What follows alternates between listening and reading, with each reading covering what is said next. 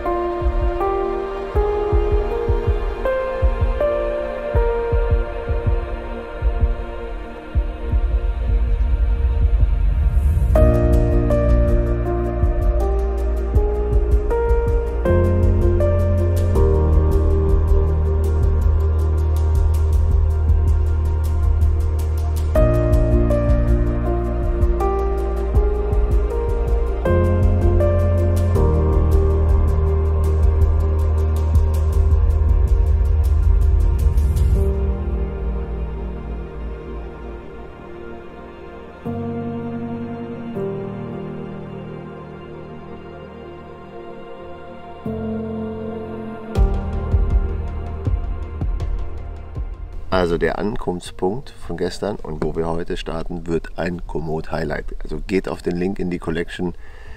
Das Highlight ist das Nudistencamp. Also so nette Leute, unglaublich nett. Und äh, man ist hier ganz alleine. Also wir haben gestern mit denen gesprochen, maximal 20 Leute, die hier mal so auftauchen. Gestern waren wir jetzt hier acht Leute, die hier waren. Das verläuft sich auch alles. Ja, ihr seht's ja. Der See und das Haus direkt dran und überhaupt und Sauna am See und alles crazy.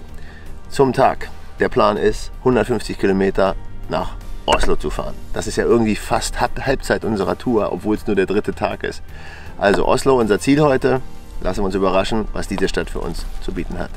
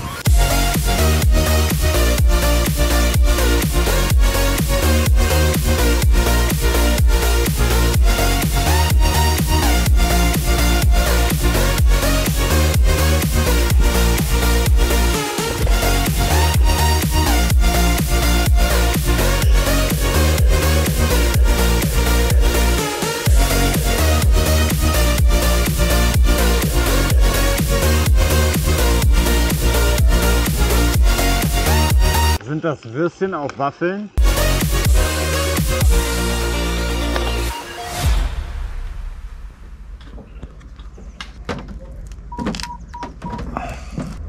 Eiskaffee. Ich trinke Eiskaffee.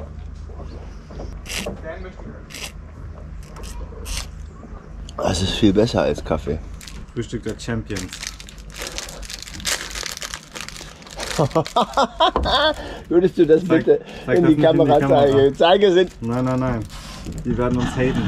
Das ist mir egal. Verpackungsmüll hier. Das ist mir jetzt völlig egal. Der Wollen wir sterben? Echt, Wir müssen essen. es sieht echt nicht gesund aus, André. Oh, mm.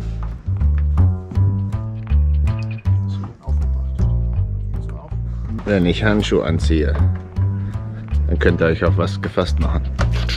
Was will er uns damit wohl sagen? Dass ich noch keine Handschuhe anhatte und dass ich jetzt mit Handschuhen anfange am dritten Tag.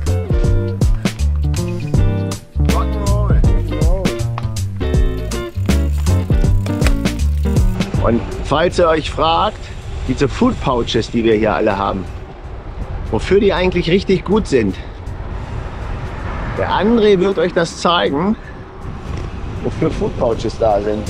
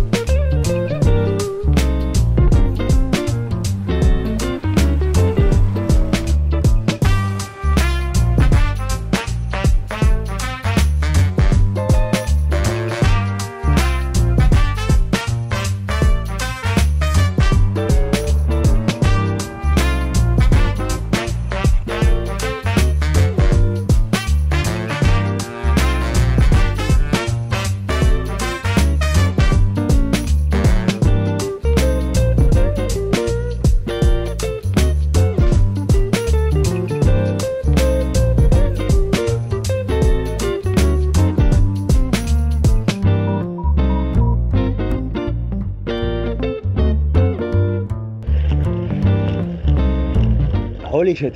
Ich muss runter gucken, aber ich pack mich auch ein.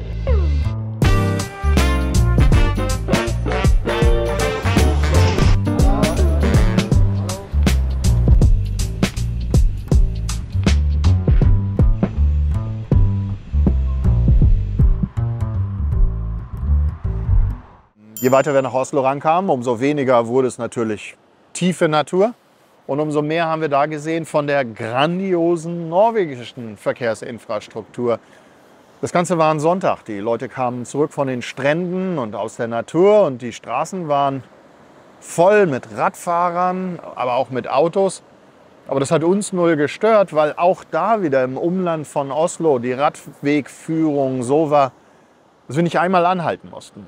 Wir wurden über Straßen, unter Straßen mit Unterführung geführt. Radwege waren doppelspurig. Ich kann mich erinnern, dass das erste Mal, dass wir wirklich anhalten mussten, fast in Downtown Oslo war und das war eine kleine Ampel.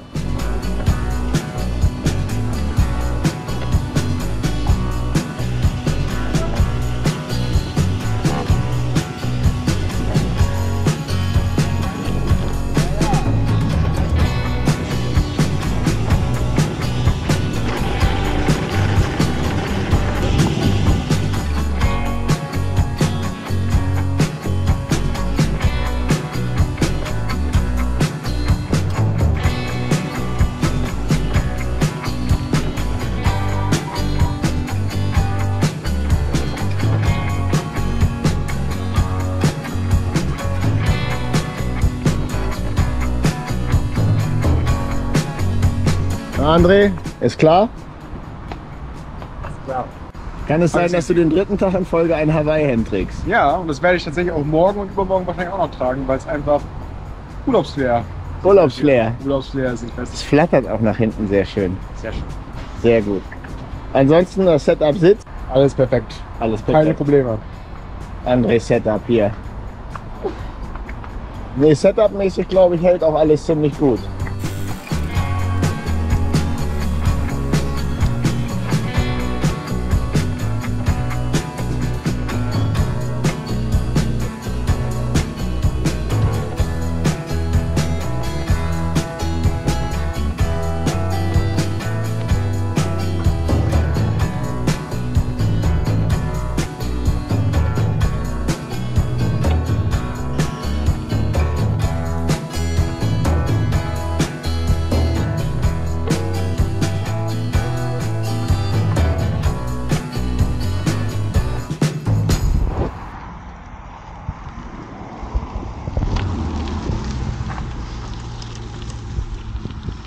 Holger! Holger hat sich verändert. There he comes.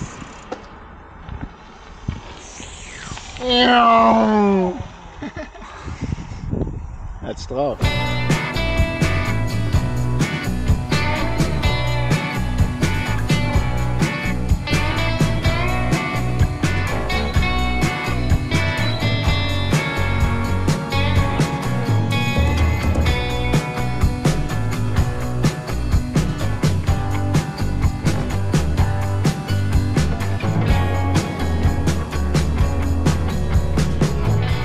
Darauf habe ich mich den ganzen Tag gefreut.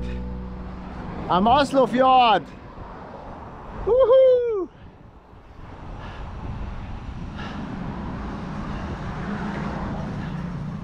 Nur noch so 20 und dann sind wir in Oslo. Einfach geil. Jede andere Stadtdurchfahrung, die ich mache, und es ist egal, ob das in den USA ist oder in, in Deutschland oder in anderen Ländern, dauert normalerweise relativ lange, weil man irgendwo anhalten muss, an, an Ampeln oder an Bordsteinen oder auf Autofahrer warten. Nicht so in Oslo. Jetzt sind wir nach Oslo rein. Das war natürlich der totale Kulturschock, wenn man so die ganze Zeit im, im Nichts Fahrrad fährt und dann in eine Großstadt kommt.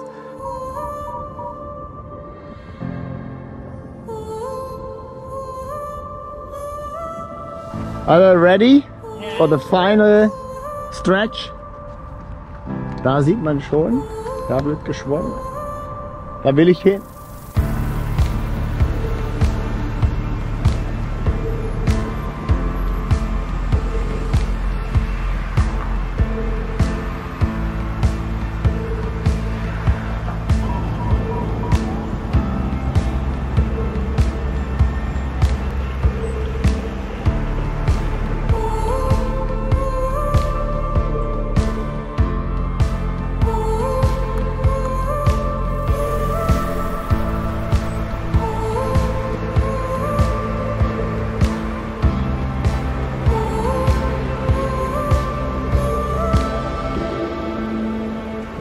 Natürlich super schön, auch die Stadt mal zu sehen. Ist auch mal was ganz anderes. Äh, Oslo ist eine schöne Stadt.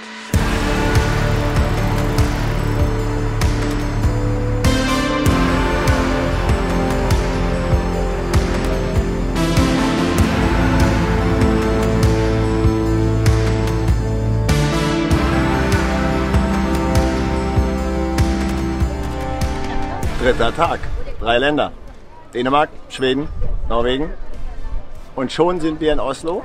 Unser nördlichster Punkt. Morgen geht es nach Süden.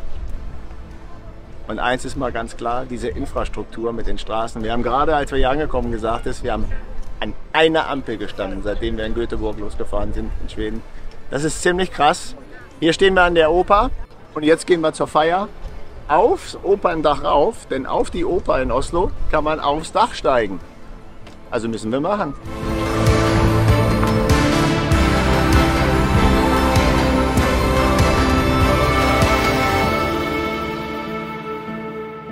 Und ich glaube, für uns als Bikepacker war das schon ziemlich besonders, dass wir unsere Räder eben gerade mit hochnehmen konnten. Die, diese Opens, die, für die wir so begeistert sind und die uns bis nach Oslo getragen haben, die mit dem ganzen Gepäck auch auf die Oper zu nehmen und dort oben gemeinsam zu stehen, am nördlichen Scheitelpunkt unserer Route und das mit unserem vollen Equipment.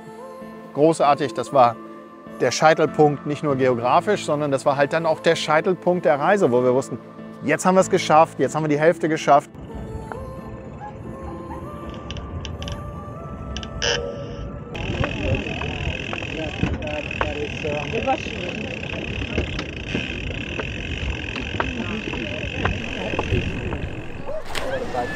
Ja, willst du das machen? Ja. Von der Brücke? Ja. Geil. Wenn die Kinder da von dieser Brücke springen, in diesen Fjord rein, mache ich auch.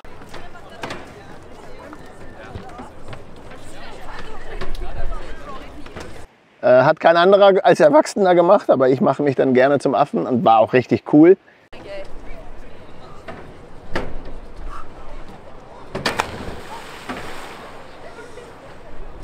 Dass Dan ins Wasser gesprungen ist, fand ich tatsächlich mutig, äh, da es doch sehr kalt sein äh, sollte.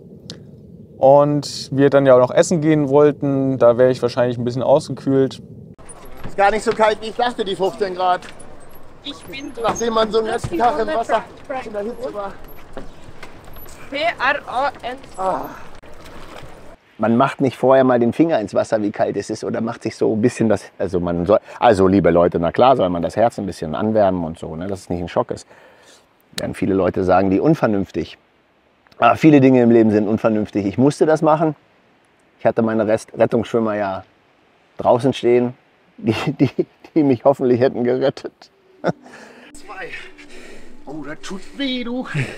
Schimpfwort drei. Wir haben auch wieder einen schönen Campingplatz auf einem richtigen Hügel bekommen.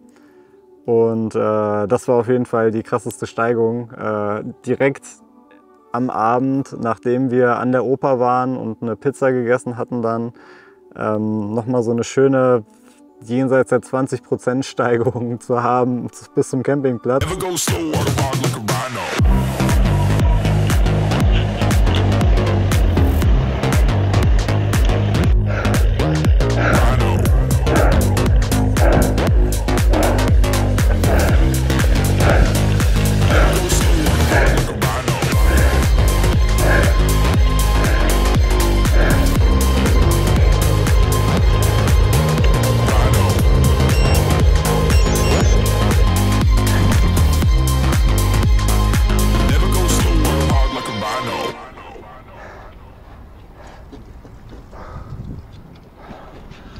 Hart erkämpft.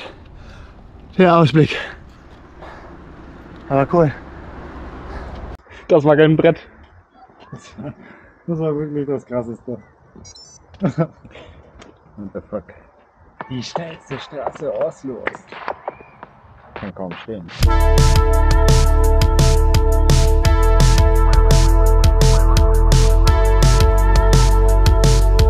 Da oben halt der schönste Ausblick, schönster Sonnenuntergang der Tour, würde ich mal sagen. Das war wirklich krass. Die Lichter waren einfach der Hammer.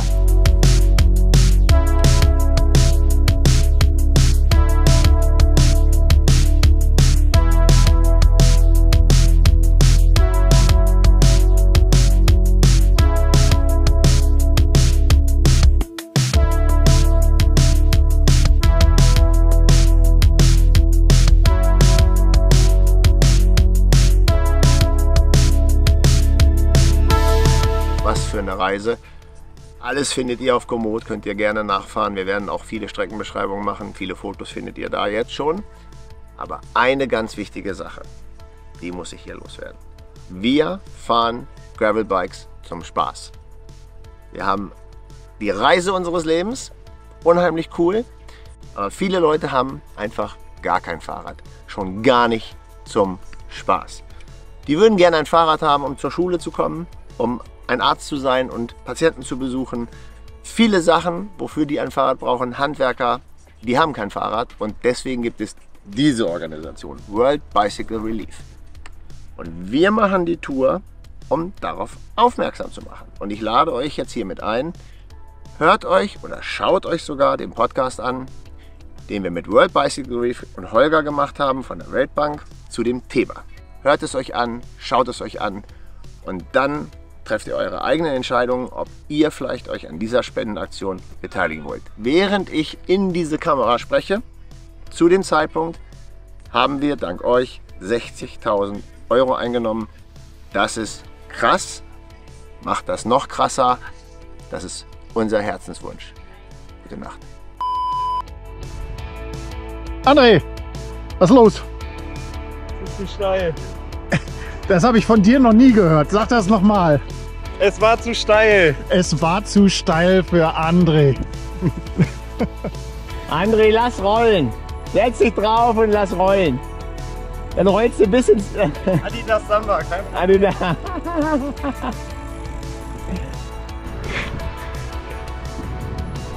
Ich lasse mich hier gerade von einem Fahrer auf dem Brompton verkloppen. Kann ja auch nicht sein, oder?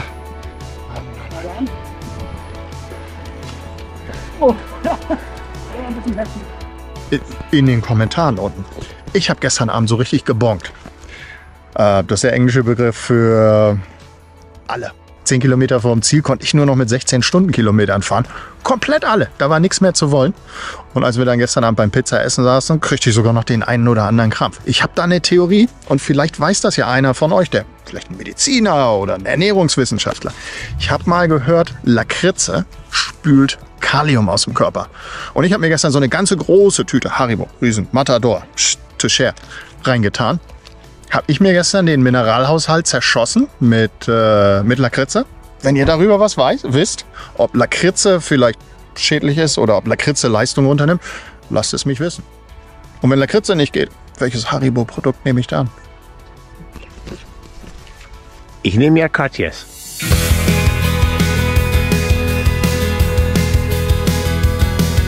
Das ist sehr hügel.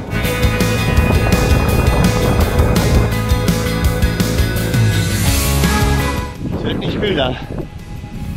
Richtig brutal heiß.